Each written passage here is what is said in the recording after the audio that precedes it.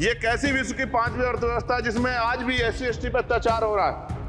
महिलाओं के साथ रेप, हत्या हो रही है एनसीआरबी का डाटा पढ़ेंगे तो खून के आँसू रोने पड़ेंगे। लेकिन अब ये नहीं चलेगा, चंद लोग इस तराजू से देश के संसाधन नहीं बटेंगे। इस देश का बहुजन समाज बर्दाश्त नहीं करेगा, संसाधन का बंटवारा संख्या के आधार पर होगा। ना तो वोट हमारा, राज तुम्हारा चलेगा और आज हम कह रहे हैं, ना ही वोट हमारा और नोट तुम्हारा चलेगा। इस बात का भी ध्यान जो है, सरकारों को देख देना पड़ेगा। इससे मैं हाथ जोड़ता नहीं हूँ, लेकिन मैं हाथ जोड़ के आपसे आग्रह कर रहा हूँ कि प्रधानमंत्री जी, सरकार से हमारी आग्रह कि वो अंबेडकर वादियों के सम्मान का ध्यान रखते हुए, उनके जो है दिल की पीड़ा को समझते हुए दर्द का ध्यान रखते हुए, उस मूर्ति को पुनः स्थापित करा दीजिए। इसमें बहुत गुस्सा है। जिस दिन अंबेडकर वादी गुस्सा हो जाएगा वो फिर इस सरकार को जो 24 में आ गई है वो आने वाले चुनाव में ऐसा सबक सिखाएगा कि दोबारा पलट के नहीं देख पाओगे। सभापति महोदय पिछले 10 सालों में सरकार की नीतियों के कारण गरीब और गरीब हुआ और अमीर और अमीर हुआ है। यानी गरीबों और अमीरों के बीच फासला बढ़ गया है।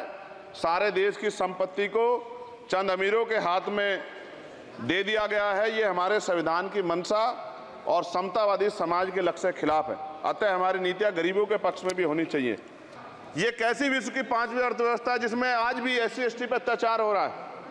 महिलाओं के साथ रेप हत्या हो रही है, एनसीआरबी का डाटा पढ़ेंगे तो खून के आँसू रोने पड़ेंगे। युवा बेरोजगार है, सड़कों पे 80 करोड़ लोगों को पाँच किलो राशन में जीवन यापन करना पड़ रहा है। जो बजट एस सी को मिलता है, मेरे दाएँ तरफ़ जो साथी बैठे उनको बुरा लगेगा। कर्नाटक में चौदह करोड़ रुपए इन्होंने दूसरी योजना में लगा दिए। और मध्य प्रदेश में आपने पिचानवे करोड़ रुपए जो है दूसरे बजट में लगा दिए। हमारा जो मिलता है उसको तो मत छीनो भाई। एमएसपी की लीगल गारंटी कोई बात नहीं हुई है। मैं अपने क्षेत्र के विषय में महोदय आपसे कहना चाहता हूँ कि पश्चिम यूपी में नगीना में एक एम्स बनना चाहिए, एक आईआईटी बननी चाहिए, एक आईएम बनना चाहिए। नगीना लोकसभा में उद्योग धंधे लगने चाहिए। नगीना की कताई मिल जो है, उसको पुनः शुरू कराना चाहिए। आरआरटीसी जो योजना है सरकार की, उसको मेरठ से आगे बढ़ाकर मुजफ्फरनगर, सहारनपुर से नजीबाबाद नगीना होते हुए, उसको नगीना तक ले जाना चाहिए। साथ साथ नजीबाबाद से मुंबई के लिए एक ट्रेन चलनी चाहिए और नगीना, श्योरा, किरतपुर में रेलवे के ओवरब्रिज बनने चाहिए। सभापति महोदय सामाजिक न्याय मंत्रालय को तेरह हज़ार करोड़ रुपए दिए गए और जनजाति कार्य मंत्रालय को तेरह हज़ार करोड़ रुपए दिए कुल छब्बीस हज़ार करोड़ रुपए। जो कुल बजट का, जो कुल अड़तालीस पॉइंट बीस लाख का लगभग ज़ीरो पॉइंट चौवन परसेंट है। जबकि हमारी संख्या 25 परसेंट से ज़्यादा एस सी की और बहुजन समाज की मिलाओगे तो पिचासी परसेंट से ज़्यादा है। और हमारे विकास के लिए सरकार एक परसेंट बजट एक प्रतिशत पैसा खर्च कर रही है, जो मिलना हमें चाहिए, जबकि मिलना में 25 परसेंट चाहिए। ये ऊँट के मुँह में जीरा के समान है, कहावत हमने बहुत दिन सुनी थी। पिछले लंबे समय से हमारे साथ धोखा हो रहा है, लेकिन अब ये नहीं चलेगा। चंद लोगों की तराजू से देश के संसाधन नहीं बटेंगे। इस देश का बहुजन समाज बर्दाश्त नहीं करेगा, संसाधन का बंटवारा संख्या के आधार पे होगा। मान्य और काशीराम साहब नारा लगाए थे ना तो वोट हमारा राज तुम्हारा चलेगा, और आज हम कह रहे हैं ना ही वोट हमारा, और नोट तुम्हारा चलेगा। इस बात का भी ध्यान जो है, सरकारों को देख, देना पड़ेगा। आपके माध्यम से सरकार से मेरी एक मांग है। सरकार इस योजना का लाभ भी अपने आप ले ले सरह भी ले ले, कि एक लाख रुपए सालाना बहुजन समाज के अत्यंत गरीब परिवारों को दे। दस लाख करोड़ रुपए खर्च होंगे, लेकिन इस एक लाख रुपए की योजना से एक झटके से एक परिवार में गरीब, परिवार गरीबी की रेखा से ऊपर आएगा। और इनके बच्चों कुपोषण खत्म होगा, अच्छी शिक्षा मिलेगी, महिलाओं को सम्मानजनक जीवन मिलेगा और इससे वास्तव में सबका साथ, सबका विकास का नारा सार्थक होगा। अगर प्रश्न ये होगा कहाँ से आएगा तो उसका जवाब ये है कि जब अमीरों का 16 लाख करोड़ रुपए माफ़ हो सकता है, कॉर्पोरेट टैक्स का घटाकर लाखों करोड़ रुपए का चुनाव सरकारी खजाने को लगाया जा सकता है, पेट्रोल, डीजल के दाम दस गुना बढ़ा एक्साइज ड्यूटी बढ़ाई जा सकती है तो गरीबों को सरकार पैसा क्यों नहीं दे सकती? महोदय, समय आ गया है। अब निजी क्षेत्रों में आरक्षण की व्यवस्था होनी चाहिए। एस सी एस ओबीसी को निजी क्षेत्रों में आरक्षण मिलना चाहिए।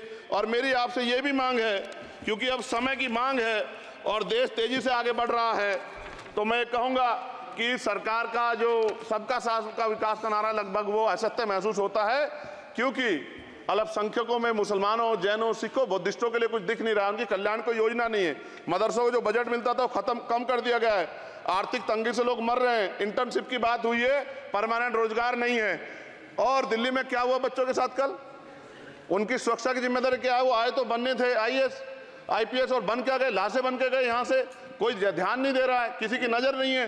साथ साथ मैं आपसे ये भी आग्रह करूँगा कि हम ग्रामीण क्षेत्रों से आए लोग देश से बड़ा प्रेम करते हैं और हम ये महसूस करते हैं कि सरकारें हमें सुनेंगी, सरकारें हमारे बारे में सोचेंगी। लेकिन ऐसा महसूस हो जाता है आज़ादी के पिछहत्तर साल बाद और जिसको अमृतकाल कहा जा रहा है, आज भी एस सी ओबीसी के लोगों पर अत्याचार हो रहा है। अभी दो दिन पहले गोली से उड़ा दिया गया गाजियाबाद में और राजस्थान में गर्दन काट दी गई। ये घटनाएँ देख कर डर लगता है। घर से निकलते हुए भी क्या आने घर वापस लौटेंगे, नहीं लौटेंगे।